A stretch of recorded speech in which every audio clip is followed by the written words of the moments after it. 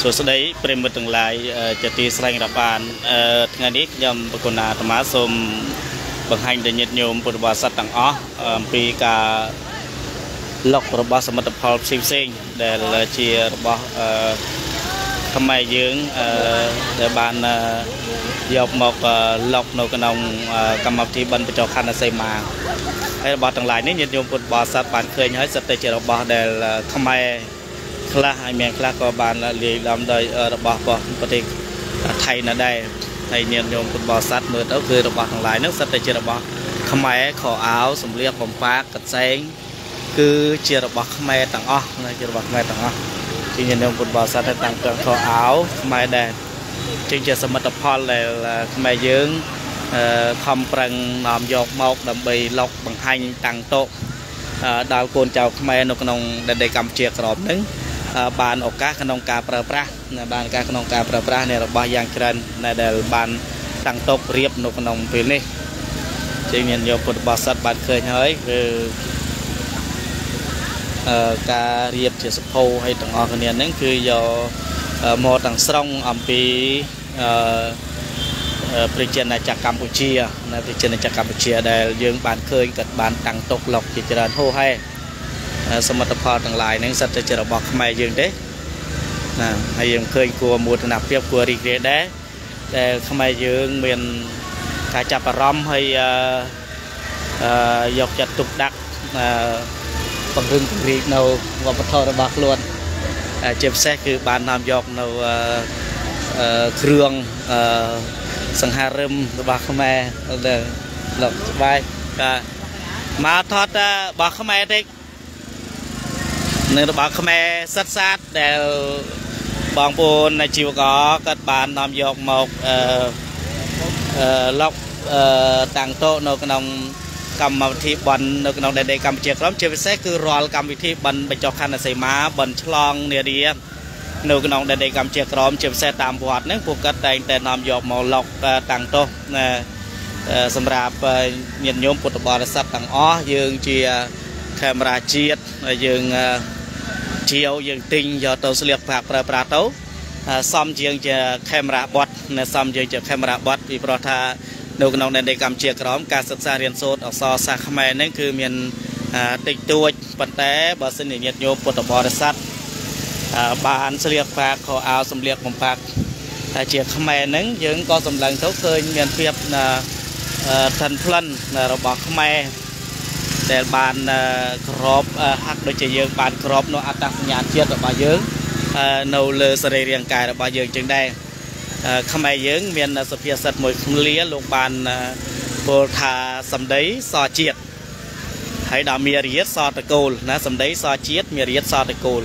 ជាងសម្ដីសជាតិគឺបញ្ជាក់បង្ហាញអំពីចរិតលក្ខណៈអំពី ភាសាដែលយើងពោលចេញអំពីមាត់យើងហ្នឹងគឺយើងដឹងថាអ្នកហ្នឹងនិយាយជាភាសាខ្មែរអញ្ចឹងបានយើងមានពាក្យថាសម្ដីសជាតិណាហើយដល់មេរិយសតកូលគឺយើងនិយាយអំពីទៅតាមកាយវិការផ្សេងផ្សេងកណានំនឹងទៅបែកពីដើមគឺណានេះគឺវាទៅបែកកណានេះកាយវិការផ្សេងផ្សេងសម្រាប់យើងទាំងអស់គ្នាបាន បញ្ជាក់អំពីអត្តសញ្ញាណជាតិរបស់យើងនេះនៅកន្លែងនេះគឺមានរឿងបានលុកនៅគ្រឿងឧបករណ៍តន្ត្រីមានចពីដងវែងពីដើមដែលកើតនាំមកអំពីប្រជាណាចក្រកម្ពុជាហើយសិល្បៈតន្ត្រីដងវែងនឹងយើងក៏ស្ទើរបាត់បង់ហើយហើយនៅកម្ពុជាក្រមយើងមានមិនសូវមានច្រើនទេហើយតម្លៃប្រហែលបងនោះមកខកទៅខ្ញុំបីខ្ញុំបីយកដល់នោះ9លាន 7លានដង7លានលុយខ្មែរអំសភៅមួយដែលជាច្បាប់របស់ក្រុមងុយដែលជាបើនិយាយតាមទៅគឺជាបីដាជាបីដងវែងហើយអញ្ចឹងគាត់មានអឺឡុកនៅជាបីដងវែងដែលជាអឺសិល្បៈអាយ៉ៃនៅសិល្បៈអាយ៉ៃរបស់ខ្មែរយើង ដែលជាការពេញនិយមពេលចំនួនបុរាណហើយឡូវចំនួនក្រោយនេះយើងក៏មិនសូវមានការពង្រីកក៏បានទូលំទូលាយដែរ ហើយពេលនេះគាត់ក៏បាននាំយកនៅចំបីដងវែងមកអំពីប្រជាណាចក្រកម្ពុជានឹងគឺបំណងប្រាថ្នាដើម្បីពង្រឹងពង្រីកនៅវិស័យសិល្បៈរបស់ខ្មែរយើងជាពិសេសគឺវិស័យសិល្បៈខាងអាយ៉ៃនេះឯងដូចជាបងប្អូនបានឃើញស្រាប់ហើយគឺចំបៃពីដើមយ៉ាងស្រស់ស្អាតហើយត្រមួយដើមទៀតហើយបើសិនជាបងប្អូនញាតិញោមឬប្រសង់ទាំងអស់យើងមិនមានសិល្បៈអាយ៉ៃប្រចាំភូមិប្រចាំស្រុកប្រចាំវត្តចឹងទេយើងអាចជាវដើម្បី តាំងពីប្រនៅក្នុងវត្តយើងឲ្យកូនចៅខ្មែរចំនួនក្រោយបានដឹងថានេះហើយជាឧបករណ៍តន្ត្រីមួយយ៉ាង ដែលខ្មែរយើងតែងនិយមប្រើប្រាស់តាំងអំពីសម័យបុរាណនោះគឺចាប៉ីដងវែងណាចាប៉ីដងវែងនឹងឯងហើយនឹងនឹងគឺជាសិភៅសម្រាប់សិក្សារៀនសូត្រសិភៅពិសេសផ្សេងច្រើនច្រើនកាលពីចំនួនមុនហ្នឹងគឺការដឹកជញ្ជូនការនាំយកសិភៅអំពីខ្មែរកម្ពុជាមកកម្ពុជាក្រមហ្នឹងគឺមានការលំបាក ប៉ុន្តែដោយសម័យនេះគឺមានការផ្លាស់ប្ដូរតំណែងផ្លាស់ប្ដូរការផ្លាត់កំណត់របស់គ្នាការសិក្សារៀនសូត្រនឹងបានទូលំទូលាយក៏ការនាំយកសភៅខ្មែរផ្សេងផ្សេងជាពិសេសគឺសភៅដែលបានបោះពុំសឹងថ្មីថ្មីហ្នឹងយកមកសិក្សារៀនសូត្រហ្នឹងគឺដោយទូលំទូលាយអញ្ចឹងញាតិញោមពុទ្ធបរិស័ទតាំងប្រសង់ដែលមានបំណងចង់ជាវវាសភៅសិក្សាផ្នែកពុទ្ធិកាសិក្សាហ្នឹង គឺយើងអាចមកជាវបាននៅតាមកម្មវិធីបានទាំងអស់គ្នាហើយនឹងខាងនេះគឺជាសម្លៀកបំពាក់បែបខ្មែររបស់យើង គឺមានអាវប៉ាក់ជាដើមដែលយើងបានឃើញគេបញ្ជួតាំងតុកលោកហើយហើយនេះជាអាវដែលមានរូបសំណាកអង្គរហើយពីចំនួនមុនពីមុនមុនយើងតល់តែទៅដល់ធ្វើប្រជាណកចាស់កម្ពុជាទៅដល់អង្គរវត្តបានយើងមានអាវនឹងសម្រាប់យើងទិញ